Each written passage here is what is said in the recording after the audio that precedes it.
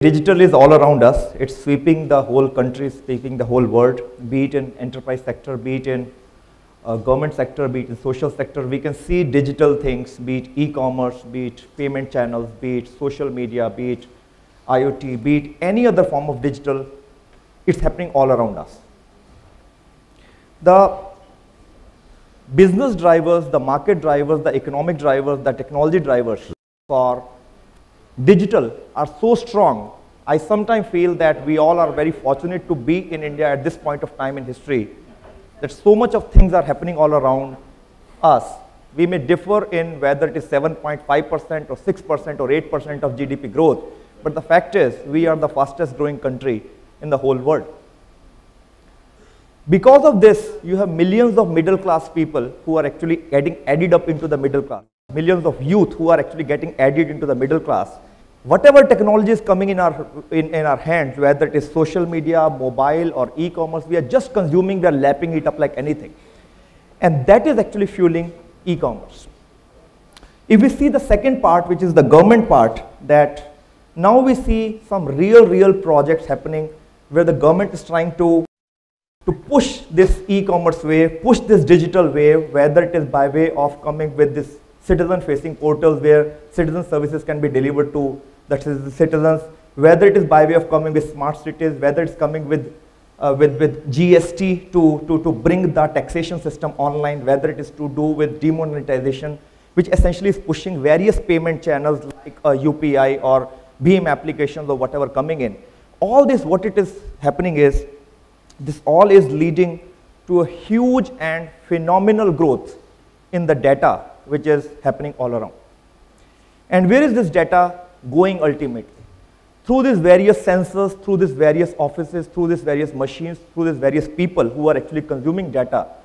This all data is traveling through some form of network and it's actually coming at the back into some, some data center. It is coming into some cloud grid. It may be here in India, it may be happening in some captive data center, it may be happening in some third party data center, it may be happening anywhere in the world. But this is leading to a huge, huge phenomenal growth. So in that way, the backend critical infrastructure, which is data center and cloud, is becoming a huge fundamental infrastructure block, which is driving this entire wave or digital.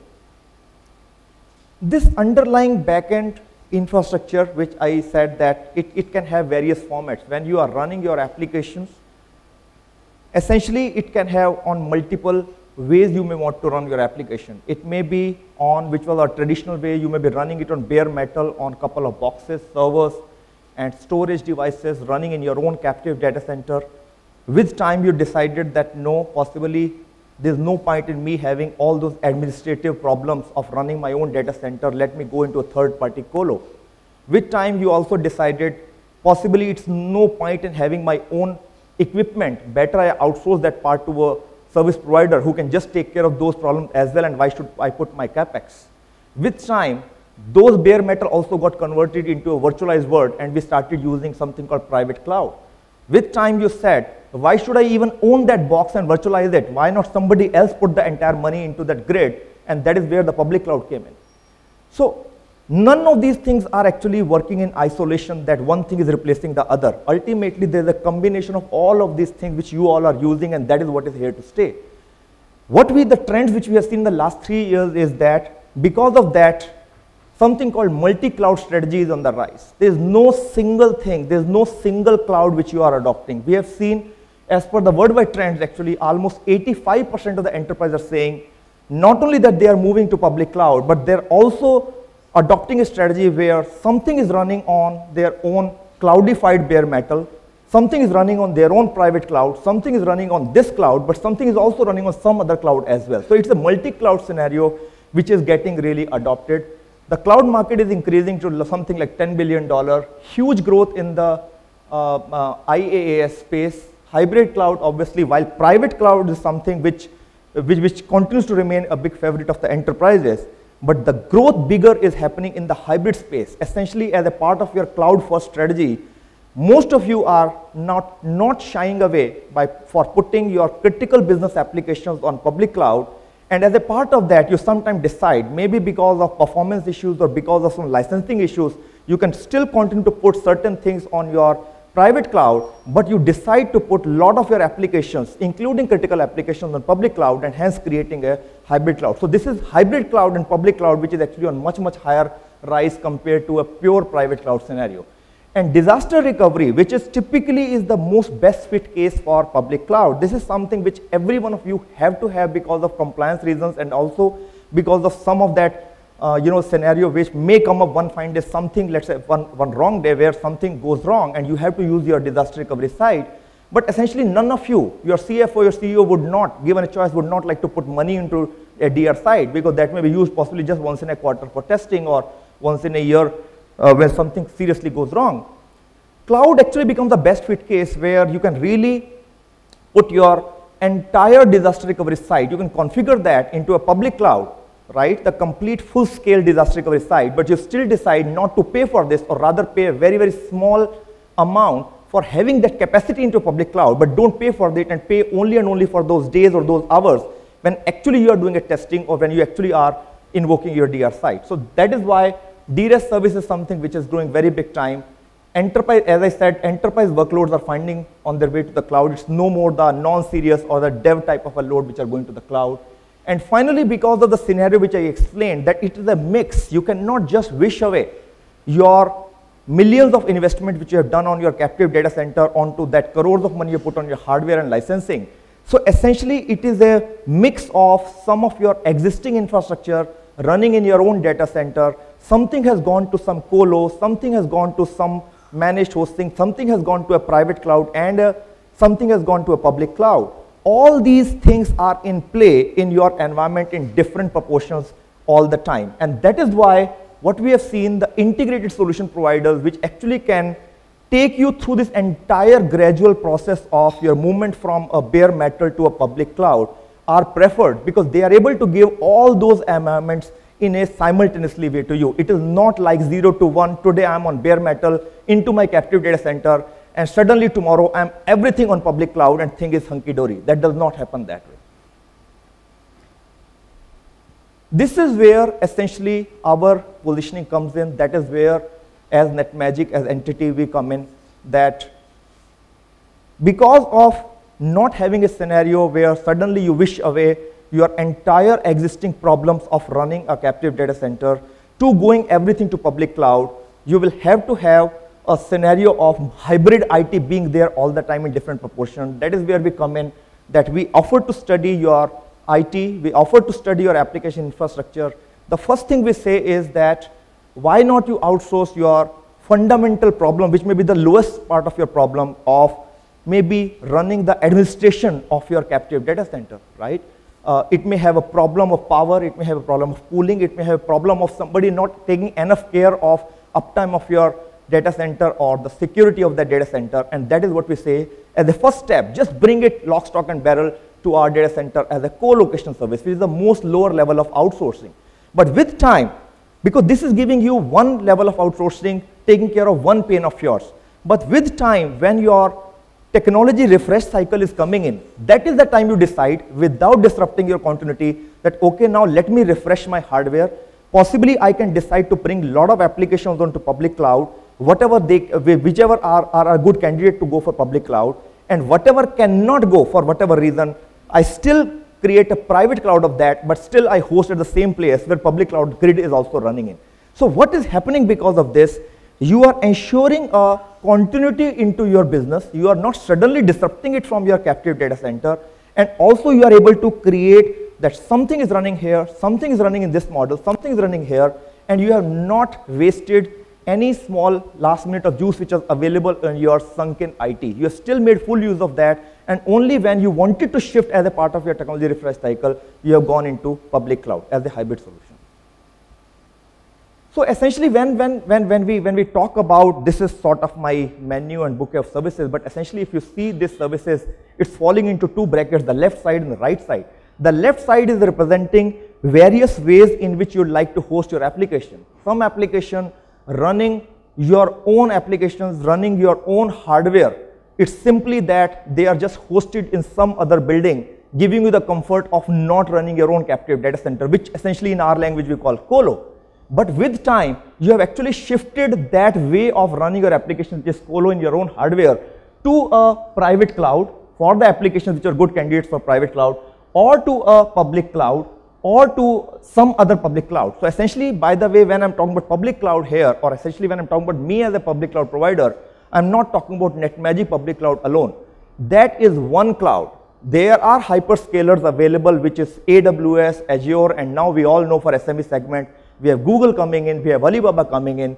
When we are coming and giving a solution, we are not talking about NetMagic Simply Cloud as well. Only it is you want to have for right reasons for some of the services, AWS cloud, we offer you that. You want to have Azure cloud, we give you Azure cloud, or you want to have some other cloud. And for some of the clouds, maybe because of the proximity reasons, maybe because of the performance reasons, maybe because of the cost reasons, you also want to put some services on my public cloud. I do as well.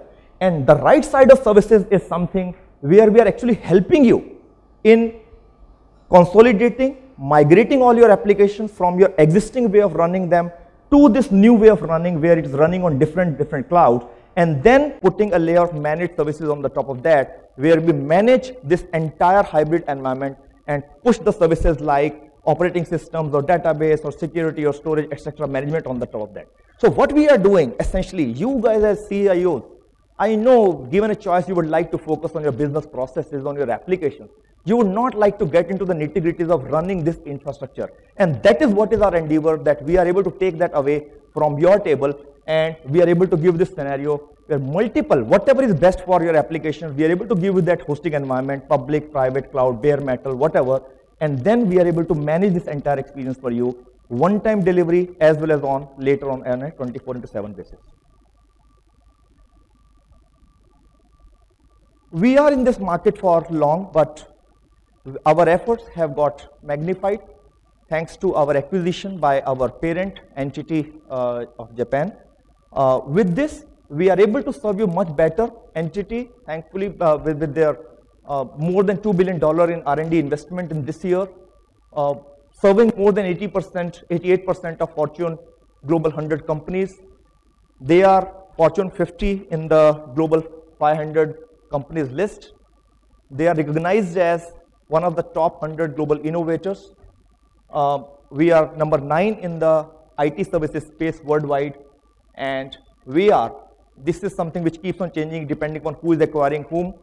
But as per the latest survey, NTT Communications Worldwide is the largest data center provider in the world with the with the revenues which is exceeding 105 billion dollars. So what exactly it is happening? Sometimes jokingly we say uh, uh, within NetMagic we, we talk that we were always recognized as NetMagic as a company which is not very big, but it is agile, it is very, very speedy, it is very, very fast moving. Whenever customer says something that some problem is there, we don't get into the bureaucratic processes of contracts and all, we just deliver the service and regularize it later. That is how we are known for.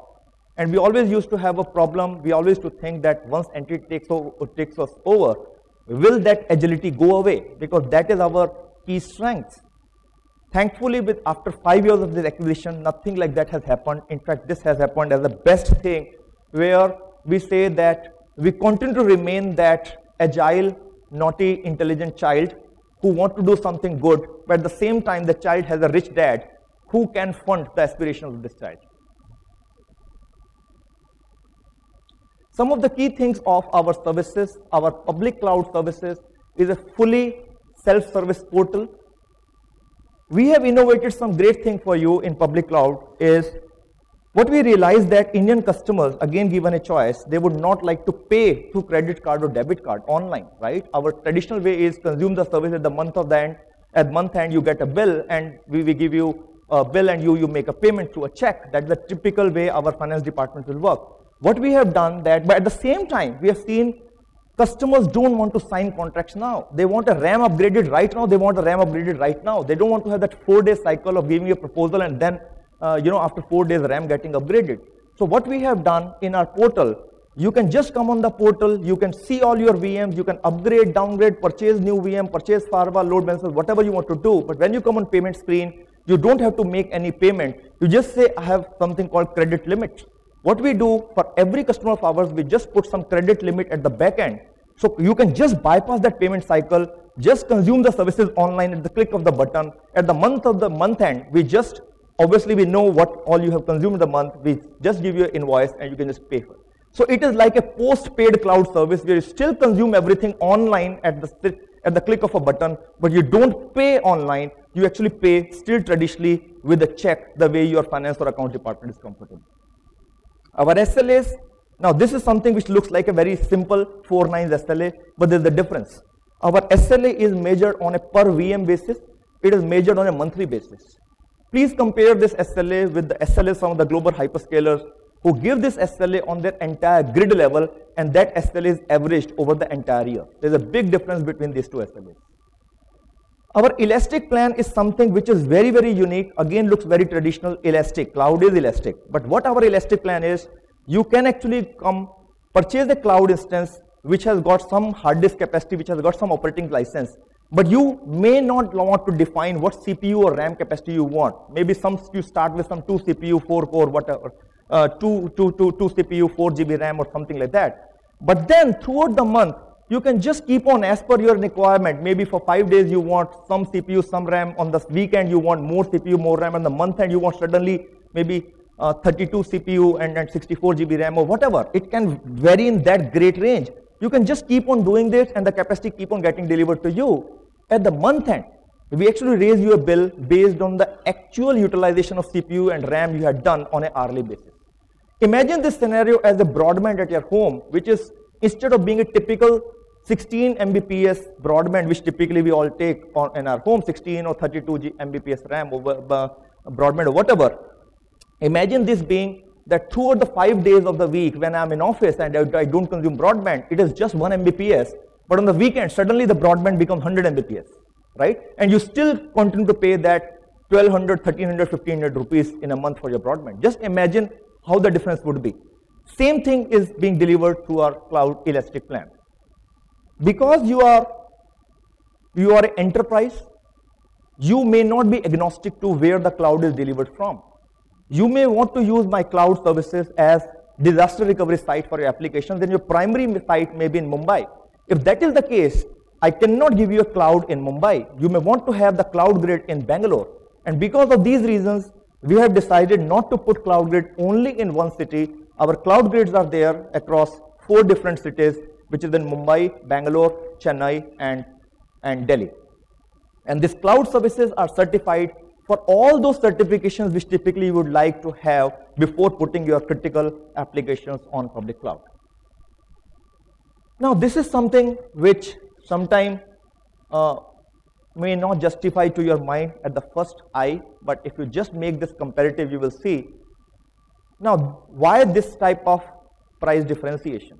Why you see almost, it is not there for all the plans. Obviously, I'm showing you all the large plans. Uh, price difference of 40% to 60%. Sometimes being a smaller player, sometimes being an Indian player, uh, which has got skill sets and the cloud management being done by Indian engineers, which obviously are lesser in cost compared to the engineers sitting in US. And sometimes owning the entire underlying infrastructure like data center helps. And that is our case. Because of these key ingredients being in our control and being available to us at a much lower cost, our cloud services to the customers are at a much, much lower cost compared to some of our global hyperscaler competitors. I'll just like to Buying and managing NetMagic's so cloud services cloud is a convenient, hassle-free process. My NetMagic Portal 2.0 is your gateway to access and manage your virtual infrastructure on NetMagic's public cloud, SimplyCloud. You can purchase provision and set up your virtual world all at a click of a mouse. Purchase NetMagic Cloud services by selecting and configuring your plans. Existing customers can log in directly into MNP 2.0. New customers will have to register for the same configure and add the cloud infrastructure that best suits your requirement. The configured items will appear in the shopping cart. The buying process will be completed after completion of payment. All the purchased infrastructure will be available in the provisioning cart for provisioning. The provisioning cart allows you to provision and configure any available virtual machines, virtual firewall, virtual load balancer, virtual load balancer plus, SAN storage and NAS storage. The dashboard view gives you a complete snapshot of your contracted SimplyCloud services.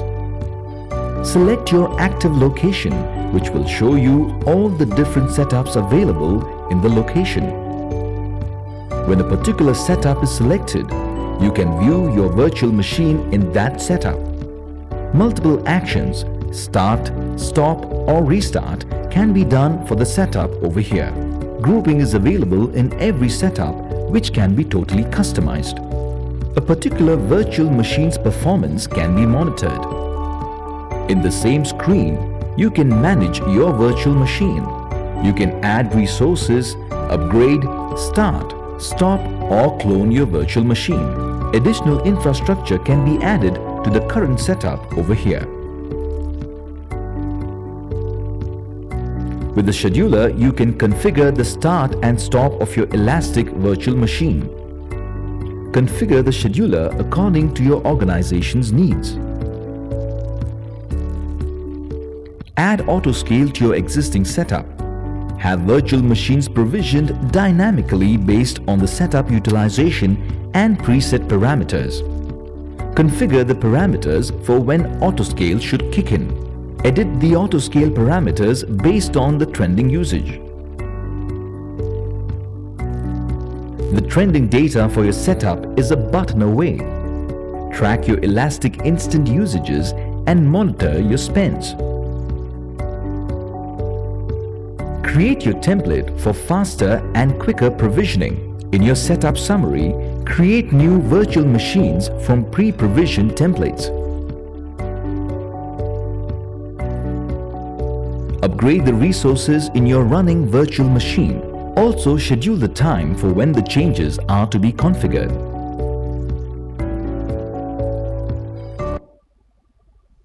So that was something about how easy it is to purchase, deploy, upgrade, downgrade, start, stop, schedule any of our virtual infrastructure at the click of the button from your office itself. The second offering what we do, and I'll speak only about these two or three offerings, is simply VPC. This is something, as the name suggests, simply virtual private cloud. This is something you would like to have the treatment of a private cloud for some of your very critical applications, but you still like to have the flexibility and scalability of a public cloud. That is what this service offers. And what this service essentially means is that the compute component of the service is something which is dedicated. That is pure like a bare metal. But the resources on the top, which is the network and the security layer, and the resources on the bottom, which is the storage and the backup layer, that all is still shared. So you actually enjoy a dedicated compute, especially very, very popular in the last two years we have seen, especially very popular for running your SAP HANA Uh, uh, uh, application where you put the SAP HANA appliance, whichever you prefer, into this grid and you still have the the, the, the network layer, the security layer, the storage and the backup layer as a shared layer where you can still enjoy the same flexibility and agility which you would expect from a public cloud. But you have the compute on a dedicated model. Very, very popular for running SAP HANA applications. This is something which is very, very unique. I don't know whether it has come out in India from any other provider so far. This is something which has been deployed and developed by our parent company NTT as I said in the starting that it is a world where you all are running either experimenting with or you actually are running some critical workloads in multiple cloud uh, uh, multiple cloud infrastructures. It may be AWS, Azure or, or some of those guys. It may be my cloud, it may be some other cloud or it may be your own private cloud running in your own data center. How do you actually ensure that you are able to have a visibility and governance across all the applications, across all the VMs running across this diverse cloud uh, which may include private and public cloud both.